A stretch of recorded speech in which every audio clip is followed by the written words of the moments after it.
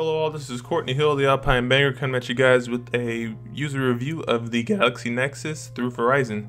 Uh, now this is actually my new dedicated device or daily driver. Uh, I've been using it pretty heavily for the past few days and I figured I'd give you guys a nice lax laid back not too technical review of this phone and my personal opinions and what I use it for. Um, right now as you guys can see it's pretty bare naked. I don't have any cases for it, any screen protectors and I haven't really customized the uh, the home screens yet, but overall the design elements are, are pretty pretty nice. I'm, a huge fan of the curved glass and the contour display. It feels very ergonomic, you know. It, it just fits in your hand. It's not like slippery. It, it's a it's overall a win in the design category, even though the build quality or the materials aren't up to par with say an HTC device, which is what I'm, which is what I'm coming from. Uh, so as you guys can see, the lock screen looks a little bit different from the ice cream sandwich. Um, as I mentioned in the unboxing video, I was gonna root it, and I did, of course, and I went ahead and flashed the new ROM. This is running Vicious uh, Jelly Bean version 3. I'm gonna go ahead and get into that. So you guys see it is 4.1, of course, running on the Galaxy Nexus. And let's go ahead and tap it a few times so we can get that Easter egg there. So of course there is the Android 4.1 Jelly Bean. You hold it down and you get the the jelly beans there, and they're actually interactive. You're able to move them around and touch them and everything. So yep, that's that. And uh, overall, other than this cool Easter egg, it does have some nice elements that are incorporated into the phone, and uh, one being voice search. What's the weather like? Machesney Park. Here's the forecast for the next few days. How tall is Michael Jordan?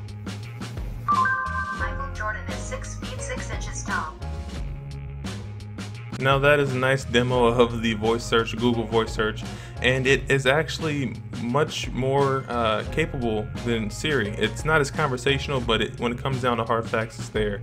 As you guys can see, I was giving it a nice speed test there with my user experience, showing you guys how fast and smooth the butter is, the Operation Butter.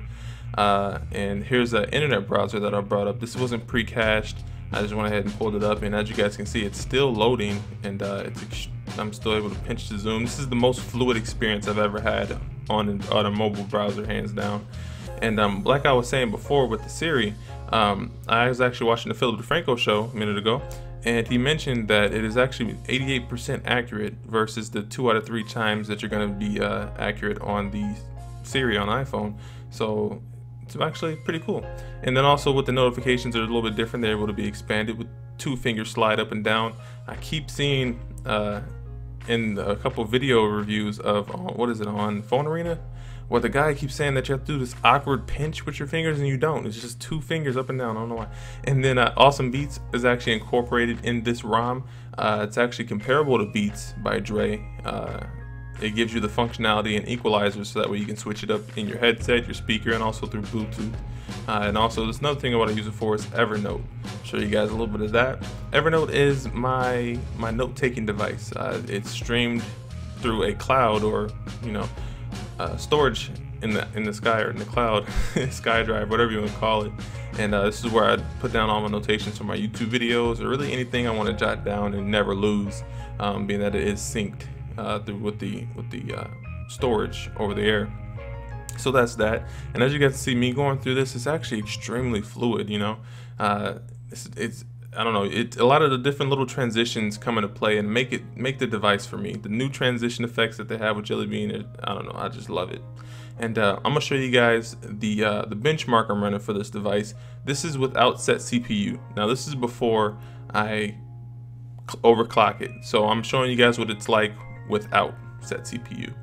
And uh, this is actually sped up because it took entirely too long to run this benchmark. Um, I don't know if, if it was underclocked. I don't know what was going on with this, but it was running pretty slow. Um, I'm assuming maybe it's something to do with the ROM. I don't know. Uh, because even when you get the results, it shows that it's lower than um, the Galaxy Nexus stock. So that's pretty questionable. Also, when this phone came out, it didn't have pretty, it didn't have really impressive benchmarks to begin with, being that it's only um, a TI-OMAP processor, uh, dual core. It really doesn't compare to the Exynos and the Snapdragons out there. but I was just showing you guys what the benchmark was. It's actually pretty low in the 2000s, I believe. Now I'm gonna go ahead and go into, um, get out of this this battery widget. I'm actually gonna go into the uh, market and I'm gonna download SetCPU and overclock the device and show you guys how I do that, and then run the benchmark again, so that way you guys can see what the what the benefits of rooting the device is. Uh, and actually, I actually set up a profile so that when my screen is off, the processor pretty much stops working. It, it, it, goes down to its lowest clock speed so that way I save battery and it doesn't overheat. And overall, it's more efficient. You know, you can set different profiles for when you have it plugged in, when it's in Wi-Fi, uh, when it's about to be dead. You can set different profiles to preserve your phone and ultimately customize the hardware of the device. Um, so yeah, that's that's the overall the benefit of using SetCPU, and I highly recommend it. Uh, there are also other uh, apps out there, rooted device apps, that you can use to clock your CPU that may be free or cheaper, but SetCPU is does cost money. It's, I think it's around uh, 99 cents to, or one dollar 99 cents. It's either one or two bucks. It's, it's not gonna break the bank. Um, but what I'm gonna do, I'm gonna set the maximum and the minimum at the highest clock speed and run the benchmark test once again of course. I would not really use this on my day-to-day. -day. I keep it on conservative and I, I, have my ranges set so that way it can you know uh, pretty much moderate itself so that way I can use it use the extra clock speed when I need it and it'll be low when I need it. So that way I don't usually drain my battery. And this is actually real time uh, this test is running real time on this time, so I'm not speeding it up, and you can see off the bat how much faster it is. Even it's running faster than the previous clip, over over over sped up or overclocked. I don't want to keep saying overclocked, but sped up. It's running faster than the previous one sped up. So I'll let you guys see that, and uh, let's see these benchmark tests. So right now it is let's see, actually at three, uh, 3,547 above the normal Galaxy Nexus is actually a few slots below and right just below the Asus Transformer Prime, which is a tablet. And it's a quad core processor and like a 12 GPU chipset in there. So it's actually very, very substantial with the rooted uh, device. Uh, so it, it's a lot of benefits to rooting your device, having the ultimate customization over software and hardware. And uh, the task killer is very fast, as you guys can see, just going through it. It's quick. Um, it has the dedicated task manager button, which is what I like, but rather than having it linked to the home screen button.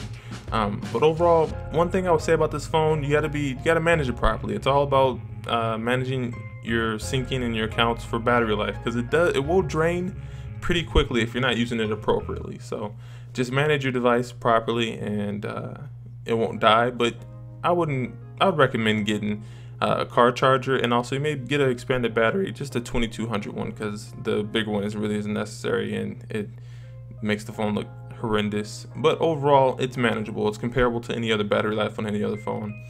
Right now, I'm showing you what YouTube looks like. This is the only time where it really takes advantage of the full 4.7 inch screen, and uh, it's beautiful. Uh, but that's about it for me, guys. It's been a pleasure speaking to you as usual. Don't forget to subscribe, comment. Peace.